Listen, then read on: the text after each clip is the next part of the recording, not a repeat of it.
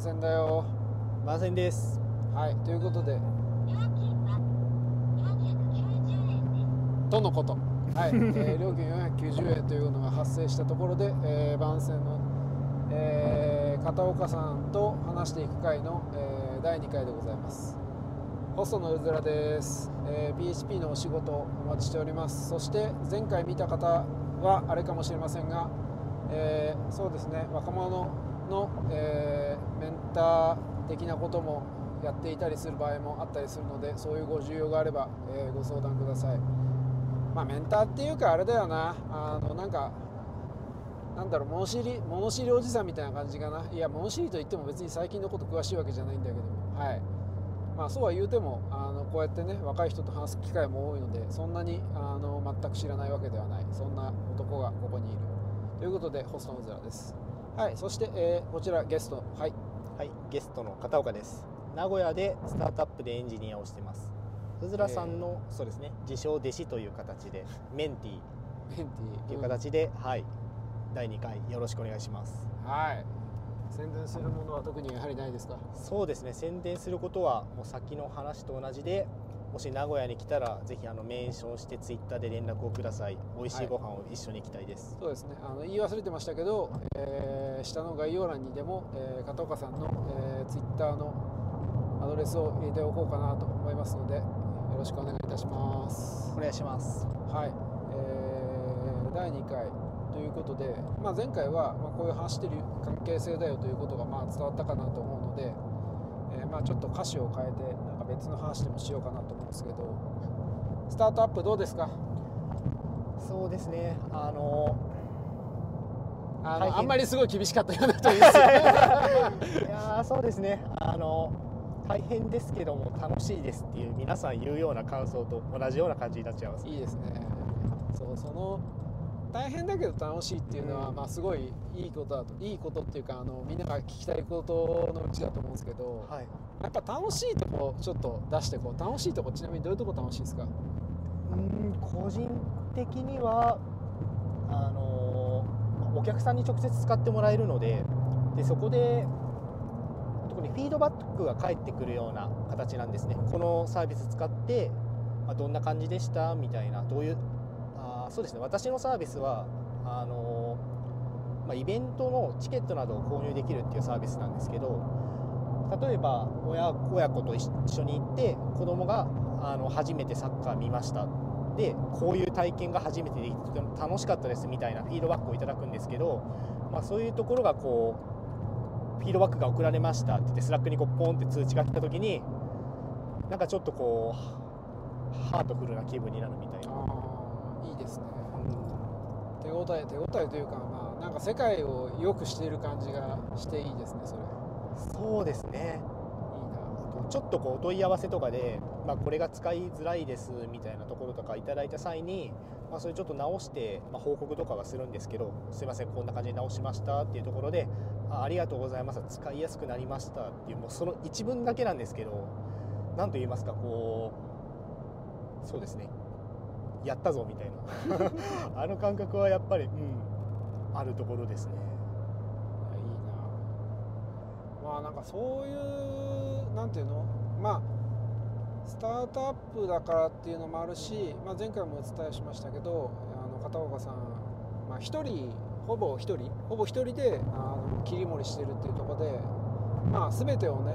あのやってらっしゃるんですよ。だからこうなんか作るのも自分直すのも自分。問い合わせ対応す対応で、まあ、問い合わせの一時受けはともかくとしてあのなんだろうこう調べるのも自分みたいなところで、まあ、全てこうなんだろう楽しいところも辛いところも全て一人で背負ってらっしゃるという感じがしていいですね。ちなみにスタートアップで、はい、まあまあそういうこうやりがいめちゃめちゃあると思ってるんですけど、はい、こう僕がまあスタートアップとかベンチャーとかってめちゃめちゃ超ハードワークって感じだった。んで最近はどうですか？あ社員の方とかは、はい、あのちゃんとしていると思います。あの、私はちゃんとしてると思ってますし。それはしてないとダメだと思いますけど片岡さんの話です。あ片岡さんはちゃんとしてないです。あのそうですね。あのあ昨日あのルビー会議っていうのを行ってきて発表そうですねインフラ周りの発表されてる方がいて、はいはいはい。まあ、24時間365日インフラの切り盛りしてますみたいな。はいあので辛かった話みたいなところでなぜか休みの日にサービスが落ちたという連絡が来てみたいなこう話をされてたんですけど、はいはい。まあああいう時にあのよしやるかみたいなことになるので、まあ、あのいわゆる休みとこう今からやるぞみたいなところがこうぼやーっとするみたいな。まあ確かにね、まあ、人数が少ないサービスっていうのはまあ基本的に必然そうなるんですけど、うん、そこら辺がまああれとかね。まあでもあの普段こう開発とか何時間何時ぐらいやってるんですか？あー、まあ、大体7時8時に起きてちょっと12時間あの趣味的な開発とか勉強した後、まあ9時10時から18時ぐらいまで一旦やっておでそこから、まあ、ちょっともう一回気分変えて自習みたいなことをしてもう数時間仕事のプログラムとかを書いてはいはい終わりみたいなことが多いですね。えー、なんか聞いた感じだとだいぶ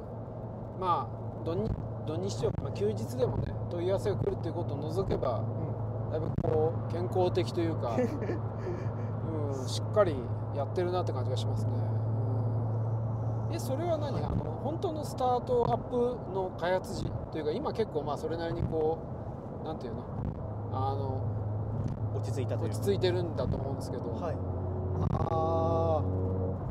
ー。今頑張って調整するようにしましたね。あーすいません。先ほどこう18時まであってそれ以降みたいな話だったんですけどだいたいそこから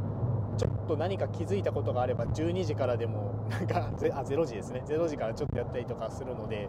まあ、結果的に寝るのが2時ぐらいとか1時2 3時ぐらいに寝てみたいなとこなので結構そうですね。健康的自分は幸いにはもともと夜遅く起きる人間なんでいいんですけど、まあ、周りの人からすると今仕事終わったっていうと相手がもう寝る時間なんだよみたいなことで 時間が合わないみたいなことがあったりしますね。なるほどね。まあそこそこハードワーカー。まあハードワーカーですね。うんブラックとまでは言わないですけど。うん。まあまあまあまあハードワーカーっていう感じですね。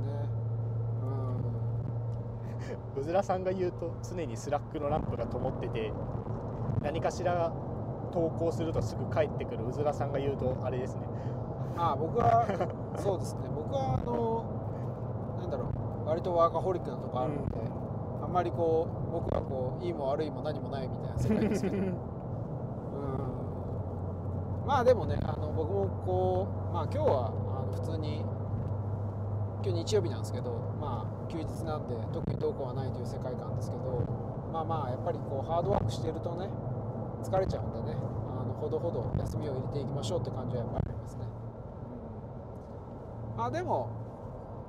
タートアップでもさ最初期の頃はもっとドタバタしてたあんまり知らないんですけど。ああそうですね。結構本当に？どういう感じだったの？あのすごいめちゃめちゃ、うん。はちゃめちゃにこう初期はうおーこの日までに作り上げるぞみたいなノリでやってたのかまあ、ややってましたね。そのノリでやってましたね。サービス2日前になってもまだ欲しかった機能が作れてないから泣きそうになりながら作ってとりあえずリリースしたみたいな。それが確かそうですね。今のサービスの本当の原型の頃はそんな形でしたね。もうちょっと、うん、気合が入っとる。なかなか胃がキリキリしたなという思い出があります。いやーやっぱねスタートアップなのはそういうもんですよね。でもまあこう4年5年続いてまあまあぼちぼちという感じなのかもしれないです。あの基本的に学生企業っていうところは？そうですね。学部3年の時にっていう形ですね。なんでそうですね。学生企業っていう枠になると思いますね。僕はねむしろそれの方がねあのすごいなと思っててどこまでこうこの話を言っていいのかわかんないですけどちゃんとこう卒業あーなんとか去年できましそう。たねされたとはすごいすごいなって思っててあの言うたらねあこれちょっとすごいなんかバランスがあるんですあの言うたら僕は仕事が忙しくて学校をちゃんと卒業できなかったタイプの人間なので いやー卒業できてるだけすげえなって俺は思っちゃ 思っちゃうんですけどうあのうつらさん言ってくださったじゃないですか。あのいやそれは言うよ。卒業しろよって 言うよそりゃ。だって卒業しないとろくなことにならないんですよ。うん。僕よく言われるもん。あのちゃんとあの今すごいあの、まあ、勉強とかあのいろいろやっててあのやった方がいいんですかって言われてそれはやった方がいいに決まってるだろうとしか返さないですけど まあその上であのなんて言ったらいいのかなわかんないけどなんかあんまりねこうみんなまあ最悪就職すればいいみたいなこと言ってて割とこうカジュアルに学歴を落とそうとするんだけどいやそんなことないぞ。絶対にお前取っといた方がいいぞっていうのは僕の感想ですんであの皆さんこうお忘れなくという感じがしますね、うん、まあなんかあのウェブサービスなんてって言ったらちょっと言い方悪いですけど あのすぐにできるようになるんででも大学卒業するってなかなかこう一回こう社会出た後やるのすごい大変なんであのぜひとも皆さんちゃんとね大学とかねあの学校にはちゃんと行ってちゃんと学歴を積むっていうのをやってた方がいいぞっていうのは僕の感想としてはございます。すごいすごいベタな話になっちゃいましたけど。うん。まあでもあれですよ。あのいい悪いっていう話ではないうんとは思ってるので、まあ、やっぱりどうしても性に合わないなっていう人はまあまあもちろん、まあ、悪いとは思思わないですけどでもまあできるんだったらやった方がいいししかしそれよりよくでも両立できましたね。両立できるもんなんですね。よく知らないんですけど僕は。個人的にはもう二度と繰り返したくない1年でしたね。あーまあ良かったのはそうですね。先生方にちょっと相談していろいろ工面していただいたりとかしたんですけど、そこの理解もあったのとあとそうですね会社関係だとうずらさんとかもちろん会社のメンバーに助けてもらったのもあって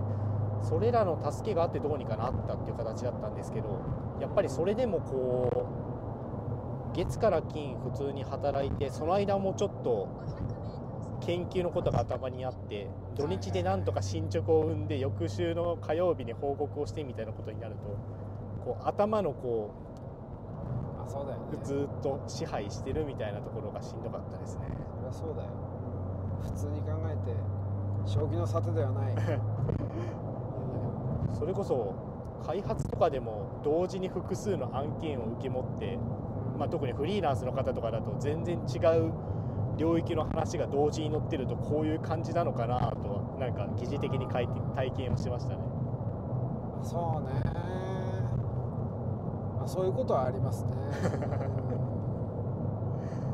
ん。まあでもそうは言うてもねあのちゃんとそこら辺の部分両立できているっていうのは本当に素晴らしいことだなと僕は思いますけどね、うん。まあでも。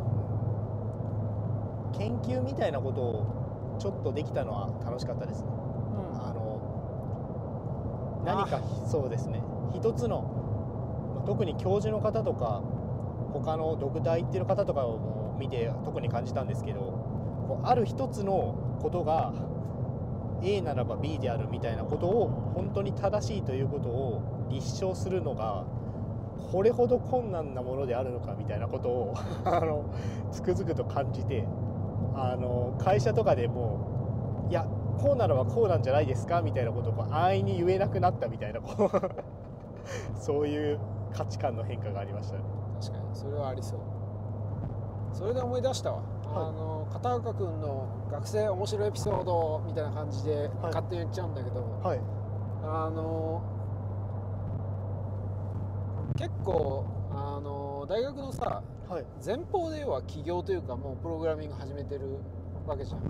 あの僕がさ、はい。あの僕があなたにプログラムってこうやって書いた方がいいよみたいなことを偉そうなことを言い始めた。はい、言い言った後にさ、はい。あの君フォートナンやってたよね。あの研究活動もフォートランですし人生で初めて書いた言書いた言語もフォートランですね。なるほどね。バージョニング95です。いやー覚えてる？いや俺は覚えてるんだけどあの片岡君がこう僕はこう例えばこう Ruby でこういう書き方を覚えて、まあ、こうやってやってプログラミングってこうやってやるんだと改めて知りました。さてフォートランではあの RubyGem みたいなのどうやって見つけるんですかって僕に聞いた時の話。あれは本当に俺の中ではああうん。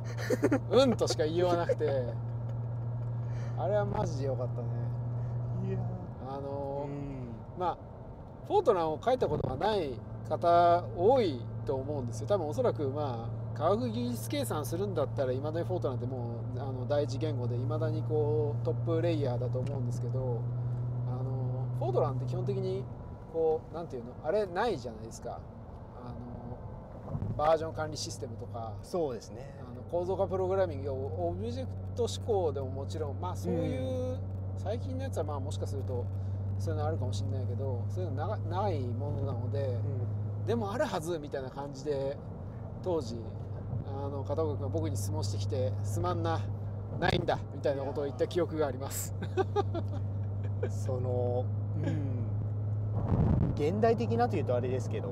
そうね。言語っていろいろそういう苦難があって生まれたものなんだなっていうのはそのその時感じましたね。うん。まあなんていうかそういうものなんだよな。うんまあ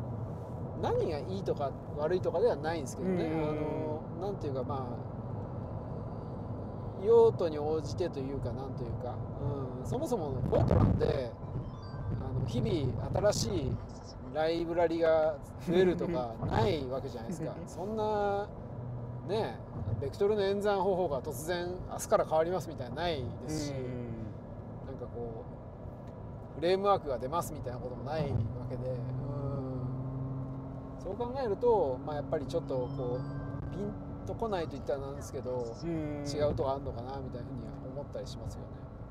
そう。初めて Ruby とかそれこそ Python とかで逆行列が一発で出る時に感動しました。ねあみたいな。あのもちろんフォートランとかでもこうできるんですけどいろんな拡張をちょっと入れたりとかしないといけないみたいな話があったりとかしてもうデフォルトでインバース一発で出るみたいなところでなんだこれはみたいな感動が生まれ感動した覚えがありますね。それはそうだろうね。うん。まあ普通ないよね？ないんだよね？そうですね。フォートランと C を学部とかの1年生で、まあ、触りだけやることになったんですけど、まあその後 C とかは結構まだいろんなところで使われてるんですけどフォートランはやっぱり空力とかその辺りの解析とかで使われてるって感じで、うん。あのまずググって情報が出てこないみたいな。それはそう。言語のドキュメントが PDF でめちゃめちゃ長い量書かれてるみたいなあのそういうことで結構ショッキングな思いもした記憶がありますね。確かに、まあ、コンパイラーがね、うん。そもそもなんかインテルとかあのなんか謎のコンパイラーを使ってググっても出てこないキータに記事がないみたいなそういう世界観だからね。研究の時はあの別途コンパイラ買ってたんですよ研究室で。まあ買うでしょ 商商用のコンパイラーしかないもん。あの実はお箸実はその初期の頃ヌーのコンパイラ使ってて、あそうなんだ。であの研究室で他の知り合いとかは知ってたんですけど、はいはい。自分にうまいこと情報が多分届いてなくてえ一、人だけヌーでやっててめちゃめちゃ遅いなーって思ってたらあの 研究室にはみんな使ってるよって言ってパッてやったら何この速さみたいなそうなんだよね。どうでもいいあの速度改良を自分がやってたんですけどコンパイラ変えて全部吹っ飛ぶみたいな話を。経験しました。それめちゃくちゃあって多分あのオープンソースの人だと別に、まあ LLVM とか今あるからあれだけど、うんあのコンパイラー変えるってあんまりこう意識しないんだけど、クラングとか今はクラングと NGCC 使うでしょって感じになると思うんですけど、フォートランとかだと、まあ、インテルとか、プロセスメーカーが基本的にコンパイラーをねあの売ってくれるんですよね、それ買って入れると勝手に最適化がなされていて超速いみたいな世界があってめっちゃ面白い。あーあの一回やったのがこれ自分のパソコンが性能限界来てるのかなと思って自腹で AWS のクレカを登録して Terraform 書いてあの一番1時間すごい料金するインスタンス一瞬立ち上げてそこで 走らせてあれでも変わらんみたいなことを言ってあの教授に相談したら「ああそれはねええ Intel のコンパイラ使ってないの?」みたいなことを言われて「あなるほどですね」みたいなことになった。なるほどですねめちゃめちゃ面白いいやー聞くも涙って感じですねまあそれの中でまあそう考えるとまあ Ruby とかはねまあ1個しかないとは言わないですけど、まあまあいいですよね。そんななんか普通に CRuby 使ってればね 大体一番早いわけですから、まあ、一番ではないかもしれんけど、うん、いや考えることが減るっていうのはやはり、ーそうね。うん、嬉しい。いやでもそれはこうそういうなんていうの？ピットフォールみたいなのもあると思うんですよ。はい。あのなんかこうあるべきまあ僕片岡さんすごいなと思うのはそのなんていうの粘り強さだと思っていてなんでこれをこんな遅いんだろうってなった時、ちゃんとトライするのがまあすごいなと思っててあの僕ちょっと偉そうなこと言っているっていう話をしましたけど実際のところあんまりこう実務的な部分って僕はあんまり教えてないんですよ。全然こう抽象的な話であのもっとふわっとした話ばっかりしててあのまあそういうようなものがあるあるから探してみみたいな感じでこう言う、でそれを言うとあのそうなのかあるのかと言ってあの片岡さんはこう突撃していってというとちょっと若干面倒くさいあの変な話ですけどあのちゃんと何調べてみてできましたとか、まあ、できませんでしたとかっていう感じになるっていうのはまあすごいいいとこなのかなと僕は思ってるんですよね。ああありがたいあの突撃できる先をちゃんと示してくれる方がいるっていうのはとてもありがたいことです。あまあねあの先があのデッドエンドなのか それともありそうなのかぐらいはまあ確かに教えてくれる人がいるとめっちゃ便利だよね。それはわかるわ、特にさっき話であった最初期の頃とかってこの道を進んでいった先に何があるのかっていうのがまずわからないのとうんうん。その方向がそのわからないにしろ大まかに北の方にあるって言って北の方に進んでるのといやもしかすると南にあるかもしれないけども北にまず進まないといけないみたいな状態にある時ってこうアクセルを踏み切れなくてなんかずっとこう似たようなところ行ったり来たりする羽目になるのでなんかあうずらさんがこっちにあるあるよって言ってくれたらもうそこにシュッてそれはいける。ね実際あるんだよね。僕もだからその、まあ、若かりし頃って言ったらあれだけど、やっぱりこうどうなのかなあるのかなみたいなことでうん。悩むのは結構まあ無駄とまでは言わないんだけど、うん。ちょっと辛すぎるかなと思っててうん。うーん少しぐらいあのまあずるしてもとは言わないですけど、いいのかなって思ってます。要はあるかないかぐらいは、まあ教えてあげるべきなのかなって思ってて。別にねあのなんていうの？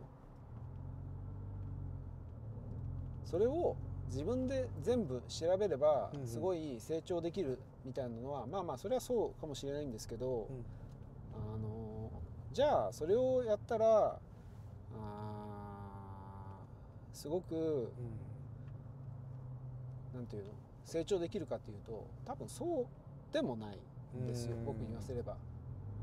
どっちかというとあのトライアンドエラーの数を増やす方がおいいと思ってて